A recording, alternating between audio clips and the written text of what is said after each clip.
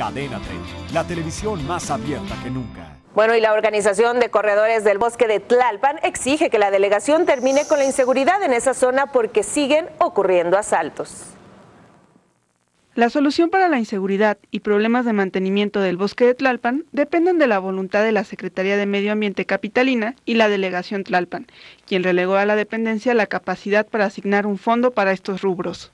Aurelio Cantón, secretario de la Organización de Corredores del Bosque de Tlalpan, expresó su preocupación por la falta de un fondo para seguridad debido a que el espacio ecológico ha sido escenario para delincuentes, pues en 2010 se acreditó la violación de una corredora, además de múltiples denuncias de asaltos a corredores.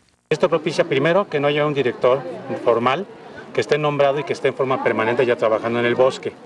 Segundo, no hay un presupuesto asignado para el bosque y entonces hay tareas pendientes como el tema de la seguridad, que es una de las principales. Sin embargo, también tenemos el problema de fauna, el problema de flora. En el área natural protegida, que es un pulmón para el Distrito Federal, persisten las lesiones dolosas por disparo de arma de fuego.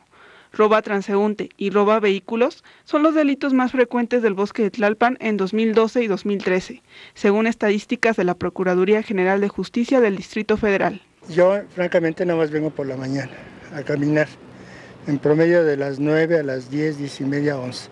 Ese es mi horario de, de ejercicio. Entiendo que la seguridad es muy buena este, en el transcurso de la mañana porque es cuando viene más gente.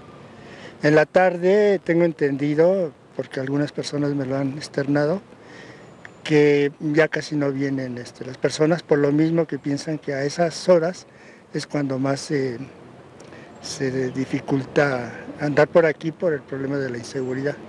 Informó Jimena Mejía. Suscríbete a nuestro canal de YouTube para que siempre estés informado de las últimas noticias de México y el mundo.